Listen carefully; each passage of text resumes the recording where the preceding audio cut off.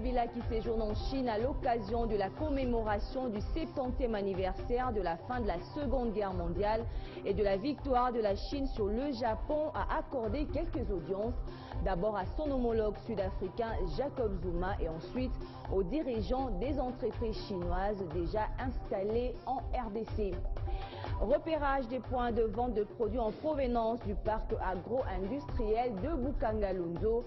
Ce jeudi, une délégation conduite par la directrice générale de cette entreprise a effectué une descente dans les communes de Massina, de Njili, mais également de Kisanso. Également dans ce journal, clôture ce jeudi par le CESAC de l'atelier d'information sur la directive relative à la campagne électorale à travers les médias. Objectif, sensibiliser les médias congolais à garantir une meilleure équité entre les différents candidats lors des prochaines élections. Voilà tout pour les titres. Merci de nous rejoindre sur Télé 50, direction la Chine, où séjourne le président de la République, Joseph Kabila, qui a accordé quelques audiences, d'abord à son homologue sud-africain, Jacob Zuma, et ensuite aux dirigeants des entreprises chinoises déjà installées en RDC. Ces derniers sont venus lui rendre compte de l'avancée du travail déjà accompli. Vous le savez, le chef de l'État séjourne en Chine à l'occasion de la commémoration du 70e anniversaire de la fin de la Seconde Guerre mondiale et de la victoire de la Chine sur le Japon. Jacob Zuma et Joseph Kabila, les deux de trois chefs d'État africains invités par le dirigeant chinois à la célébration du 70e anniversaire de la victoire euh, de la Chine sur le Japon, ont échangé en présence de quelques officiels sud-africains et congolais. Les deux géants africains entretiennent d'excellentes relations de coopération dans quelques domaines clés entre autres l'énergie et l'agriculture. Nous avons parlé en général de la coopération entre nos deux pays. Nous voulons renforcer nos relations et pensons que, par exemple, via le gouvernement, nous pouvons organiser une réunion très bientôt pour discuter de nos problèmes. C'était une bonne réunion. Après Jacob Zuma, c'est le tour des investisseurs. La vice-présidente de Huawei qui assure l'équipement des opérateurs en téléphonie et la formation, a rassuré le chef de l'État congolais que sa compagnie, une des plus grandes en Chine, va consentir de nouveaux investissements. Huawei va équiper notamment l'administration des nouveaux moyens pour faciliter sa communication et la modernisation de son fonctionnement. Nous avons exprimé notre confiance sur le développement économique du Congo-Kinshasa et nous avons investi dans deux bâtiments immobiliers au Congo. Et nous allons aussi continuer à développer notre activité, notamment aussi dans la formation des talents de TIC dans notre centre de Huawei Ensuite, c'est le président de la FCC, une entreprise qui exploite une mine de diamants et qui a déjà investi via sa filiale, SACIM, plus de 100 millions de dollars en Bougimac. De nombreuses grandes entreprises chinoises ont émis le souhait de s'installer en République démocratique du Congo, un pays d'avenir. La compagnie des constructions en grosses infrastructures, CRCCA 14, China Railway, est l'une d'entre elles. Spécialisée dans la construction des grosses infrastructures, elle est candidate à la construction d'un port en eau profonde de bananas dans les territoires des Mwanda, d'un tramway à Kinshasa et de nouvelles lignes de chemin de fer Kinshasa-Matadi avec la SCTP et Lubumbashi-Ilebo avec la SNCC. Le CRCC est intéressé à réaliser deux projets euh, en RDC. Euh, le projet de, donc, de port de Banana et le projet de tramway euh, dans la ville de Kinshasa. Mais ces questions n'ont pas été discutées en détail. Il était question au départ de faire la présentation de CRCC. Ces questions-là vont, être évoquées par après. Le chef de l'État les a invités à venir donc à Kinshasa pour la suite, n'est-ce pas, de pourparler. Le ministre des Finances, Henri Yav Moulang, et le gouverneur de la Banque centrale du Congo, Deo Gracias Mutombo, vont signer ce vendredi un protocole d'accord des financements de la construction des grosses infrastructures avec la banque ICBC, International Commercial Bank of China. On revient en RDC pour parler de ce film, L'homme qui répare les femmes, la colère d'Hippocrate, qui est interdit de diffusion sur l'ensemble du territoire national, décision du gouvernement de la RDC. Ce film, réalisé par Thierry Michel et Colette Brackman, retrace le portrait du gynécologue Denis Mukwege dans sa lutte contre les violences sexuelles au Sud Kivu. Selon le porte-parole du gouvernement, cette mesure se justifie par la déformation du contenu des témoignages des femmes lors de la traduction de leurs propos du Swahili en français par les réalisateurs. C'est le 8 et 9 septembre prochain que le film L'homme qui répare les femmes devait être présenté à l'Institut français. Interdit de diffusion sur le territoire congolais, son co-réalisateur Thierry Michel évoque une décision disproportionnée. Côté gouvernement congolais par contre, l'on indique que cette mesure est motivée par le fait que les dix films véhiculent des accusations infondées contre les FRDC à contrario des déclarations des femmes victimes de sévices sexuels enregistrées par ces réalisateurs qui, indexant des groupes armés irréguliers, ont reconnu avoir été sauvés par les dites FRDC. Dans ce long métrage, Thierry Michel a déclaré avoir simplement dit que des éléments des forces armées de la RDC ont commis des violences sexuelles dans l'est du Congo. Des accusations que le gouvernement n'admet pas par son porte-parole Lambert Mendy, indiquant avoir besoin que la communauté humaine tout entière soit suffisamment sensibilisée contre le phénomène de viol dans la partie est de la RDC, au lieu que cette sensibilisation devienne un outil de désinformation au service de ceux qui veulent discréditer et démoraliser les forces armées, qui ont payé et continuent de payer un lourd tribut pour libérer l'est du pays des bandes criminelles auteurs de ces atrocités. Autre titre d'actualité, c'est le repérage de points de vente des produits en provenance du parc agro-industriel de Bukangalonzo. Ce jeudi, une délégation conduite par la directrice générale de cette entreprise a effectué une descente dans trois communes, Massina, Njili et Kisanso. Des points de vente sont donc repérés et incessamment la population quinoise pourra être approvisionnée en farine de maïs dans un premier temps. L'ego est donné pour ces premiers jours, trois communes sont ciblées. D'abord la commune patriotique des Massina. Ici, la bourgmestre organise tout. Viens vite, viens vite au bureau dans deux minutes, trois minutes. Il y, a, il y a une mission urgente, viens vite. Une fois ces brefs échanges terminés, on descend sur les sites choisis. Mesurage et une petite discussion L'endroit paraît approprié. Sur le boulevard Lumumba, 240 mètres sont disposés pour aménager l'espace Bukangalonzo. Ici, on va commencer par sécuriser les sites et puis ensuite euh, ramener l'électricité et ramener l'eau et préparer une fosse septique pour pouvoir avoir des sanitaires au niveau hygiénique. Mais on peut mettre même une dizaine de conteneurs, ça va suffire. Ensuite, c'est la commune de Matete. Ici encore, le bourgmestre a déjà choisi un site où la population pourra s'approvisionner. on laissera tout le devant exposé pour la clientèle, tout en faisant une voiture au bord de la route. À cet endroit seront installés des conteneurs de 40 pieds chargés dans un premier temps de la farine de maïs. L'approvisionnement en produits de Bukangalonzo va aider cette population qui en a vraiment besoin, puisque la plupart des produits que nous avons aujourd'hui viennent de l'étranger.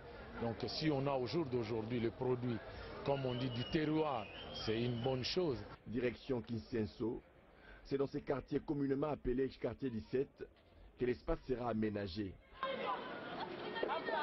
Et un autre un peu plus loin vers la gare de la même commune. Njili, dernier lieu, nous sommes reçus avec enthousiasme. Avez... Une place est déjà trouvée, mais il faut l'assainir. La délégation est arrivée ici au quartier 1, sous les eucalyptus, endroit idéal pour servir la population. Une fois aménagés, ces espaces ressembleront à ceux-ci. Ainsi, les produits des Bukangalonzo auront des adresses pour une accessibilité facile.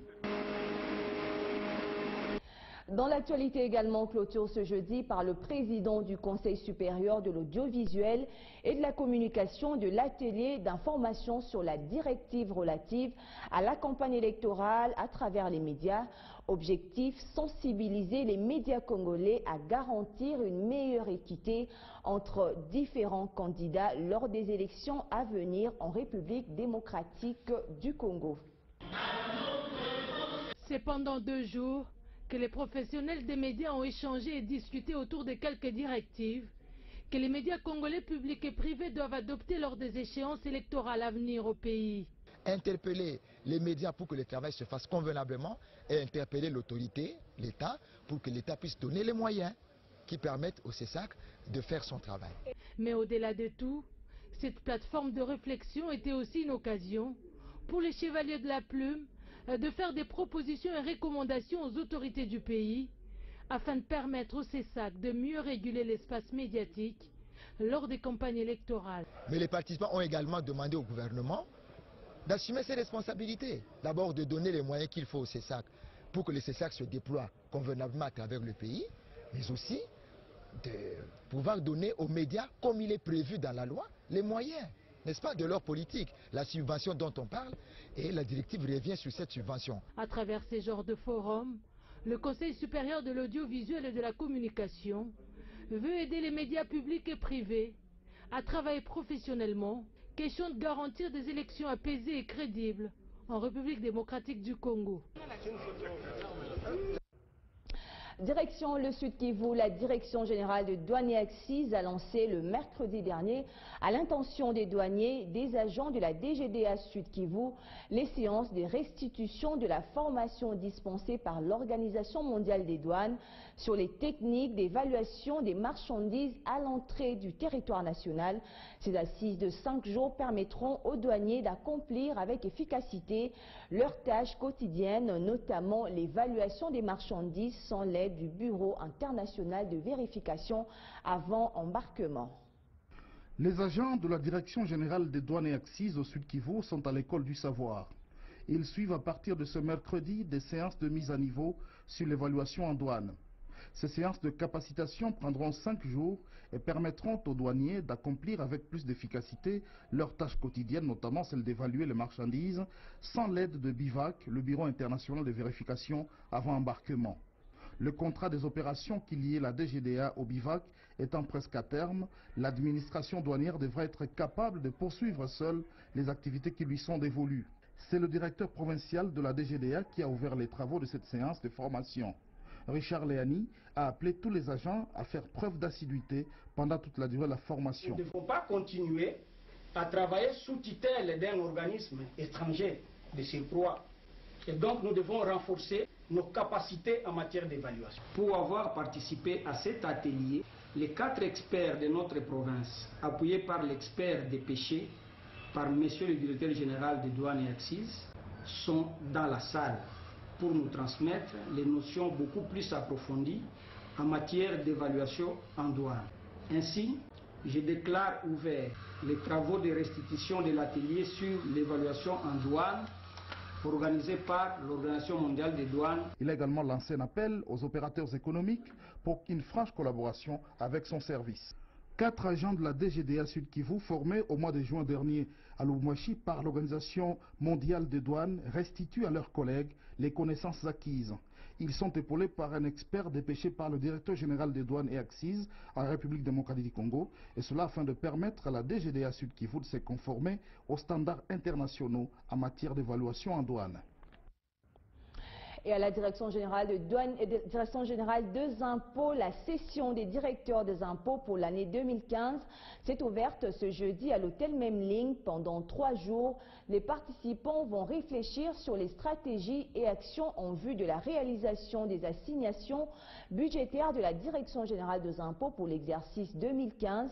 À la fin de la session, des nouveaux contrats d'objectifs et des moyens seront signés en tenant compte du réaménagement qui pourra être apporté. C'est une session qui vise non seulement l'étude des stratégies et actions pour atteindre les assignations de l'exercice 2015, mais aussi l'évaluation du chemin parcouru. L'évaluation du programme d'activité 2015 de la DGI, l'évaluation des recettes à fin juillet 2015, la répartition des assignations des derniers mois de l'année 2015, la restitution des recommandations de la dernière mission du, FMI sur l'amélioration du rendement de la taxe sur la valeur ajoutée, l'évaluation des moyens mis à la disposition de services, la communication sur certaines réformes importantes en cours, à savoir la déclaration et les paiements uniques de l'IPER, IR et des cotisations sociales et patronales dues à l'INSS, l'ONEM et l'INPP. Autre point abordé, c'est l'évaluation des recettes, principal objet de ces assises dont la loi de finances 2014 pour l'exercice 2015 sur les assignations de la DGI. La loi des finances a assigné à la Direction générale des impôts des recettes hors pétroliers producteurs de 2374,7 milliards de francs congolais. À fin juillet 2015, les recettes mobilisées sont de 1217,2 milliards de francs congolais contre des prévisions de 1379,9 milliards de francs congolais, soit un taux d'exécution de 88%, correspondant à un écart de 162,7 milliards de francs congolais. À la fin de ces travaux de trois jours, des nouveaux contrats d'objectifs et des moyens seront signés, tout en tenant compte des réaménagements qui pourront être apportés. L'autoprise en charge des femmes congolaises, c'est l'objectif de la dynamique Moadi qui réunit plusieurs femmes de la commune de Njili. Initiée par la députée nationale Toumba Mwabi, cette dynamique vise l'autonomisation de la femme par la formation sur la fabrication des produits alimentaires. Déjà, plus de 300 femmes ont adhéré à cette vision et les produits fabriqués sont déjà mis en vente sur différents points de vente. L'autoprise en charge, c'est le message de la dynamique Moabi dans le but de pouvoir encadrer ces femmes de la Tchangou. Cela passe par l'apprentissage de la fabrication de plusieurs produits de première nécessité. Ici, les adhérents s'ajoutent du jour au jour. Dans cette structure, on retrouve les femmes de toutes les tendances politiques. Pour l'initiatrice, l'honorable Ntumba Mwabi, l'objectif est de pouvoir rendre les femmes de sa commune autonomes. C'est le thème même qui avait été retenu aux Nations Unies. Aux Nations Unies. Parce que la femme, au fait, nous avons toujours dit, elle a un pouvoir d'achat qui est très faible. Euh, elle n'est pas prise en considération le fait qu'elle ne peut pas se prendre en charge. Nous, nous avons dit la politique c'est bon, mais il faut que le social puisse suivre. Et avec le social, c'est comme ça que nous avons eu l'idée euh, de réunir les mamans et nous avons créé une dynamique. Ntumbomabi explique les raisons de la mise en œuvre de cette structure dynamique Moabi. Chaque maman participe mensuellement, elle cotise avec 3000 francs. Nous achetons les matières premières et ensemble, nous suivons une formation. Oui. Et cette formation-là va permettre à chacune des mamans de pouvoir, chez elle aussi, à domicile, de pratiquer cela. Tel que vous voyez le poisson, les chips, il y a la mayonnaise, euh, il y a les yaourts. Au fait, nous faisons beaucoup de choses. Après la commune d'Indjili, la dynamique Moabi devra donc s'étendre dans toutes les communes de la Tchango. Le PPRD se prépare lentement mais sûrement vers une structuration digne d'une force politique vigoureuse à l'image du Grand Congo, raison pour laquelle Carole Aguito, au cadre de ce parti, vient de réitérer son appartenance à ce parti porte-étendard en retirant ce jeudi sa carte de membre du PPRD, une descente qui répond à l'appel lancé il y a peu par le secrétaire général du parti, Henri Movasakani, à l'intention des cadres et militants du PPRD.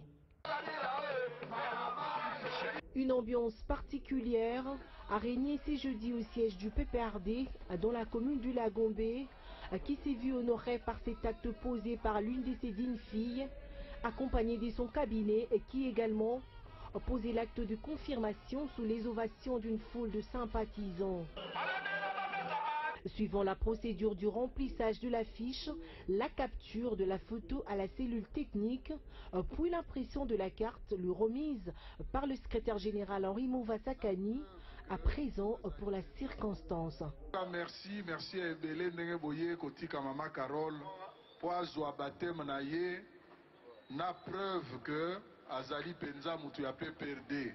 Loin d'être une procédure d'adhérence, il s'agit plutôt d'une opération lancée il y a peu par le secrétaire général du parti, auquel plusieurs hauts cadres du PPRD, dont le Premier ministre Matata Pogno, le président de l'Assemblée nationale Obar Minaku, le gouverneur de la ville-province de Kinshasa André Kimbuta, ainsi que le vice-premier ministre en charge de l'Intérieur, Evariste Bouchab, ont répondu favorablement.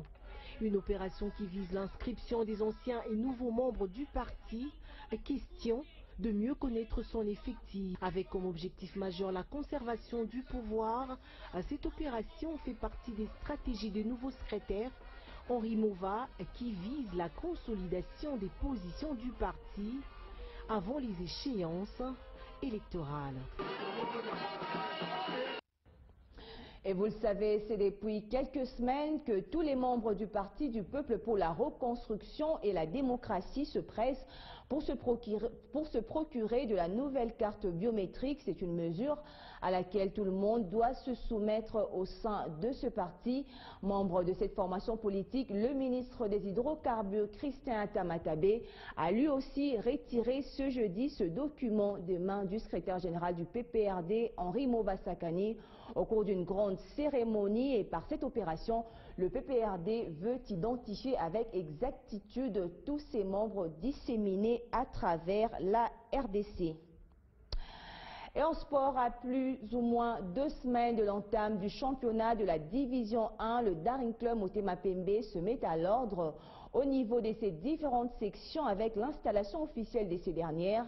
La cérémonie d'installation a eu lieu ce jeudi à Kinshasa Yolo chez le patriarche de cette équipe, Ngombe dit Maître Taureau. Redynamiser l'organisation des supporters et leur participation dans la nouvelle société demeure une des priorités du Daring Club Motema Pembe en cette nouvelle saison sportive.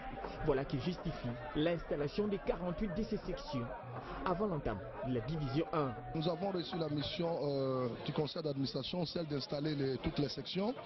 Euh, nous étions d'abord dans la phase de contact avec toutes les sections. Et une fois qu'on a terminé cette phase de contact, aujourd'hui on devait les installer du coup ensemble. Et puis nous allons faire le travail de suivi dans chaque section, ce qui a été fait aujourd'hui donc c'est déjà une euh, grande satisfaction. Outre l'emblème de l'équipe remis à chacun des présidents sectionnaires, pour la circonstance, le règlement d'ordre intérieur leur a aussi été remis, cette fois pour plus de garanties dans le fonctionnement de ces sections. Ce qui nous est arrivé nous a donné une leçon. C'est comme ça qu'il faudrait qu'il y ait un cadre juridique qui peut gérer même les supporters au niveau de la base. C'est comme ça que nous avons donné les règlements d'ordre intérieur. Euh, nous allons vulgariser ces règlements d'ordre intérieur au niveau de la base pour que chaque supporter connaisse ses droits et ses devoirs. Et à leur tour, les présidents sectionnaires promettent de vite se mettre au travail pour le bien de leur équipe. Comme nous sommes installés, directement on va commencer le travail. Le travail, c'est quoi mobiliser les supporters? Nous avons des ambitions. Il faut réactiver le, le supporter. Nous avons pris la conscience, avec tant de structures, les têtes pensantes et la visibilité, nous nous sommes organisés pour bien démarrer le championnat. na moment nde tokomi na se- société eza te mpo misala babie nyonso biso olukaki ezali C'est ça qu'on attendait, que vraiment qu'il y ait l'ordre euh, dans le DCMP. Et nous, de notre part, ferons de tous nos miens pour encadrer tous nos supporters. Ainsi donc, après installation, tout porte à croire qu'en cette nouvelle saison sportive, les Daring Club Motema Pembe va jouer au gros dans tous les secteurs, avec en priorité l'organisation. Et voilà qui met fin à ce journal. Merci à vous tous de l'avoir suivi. Excellente suite de nos programmes.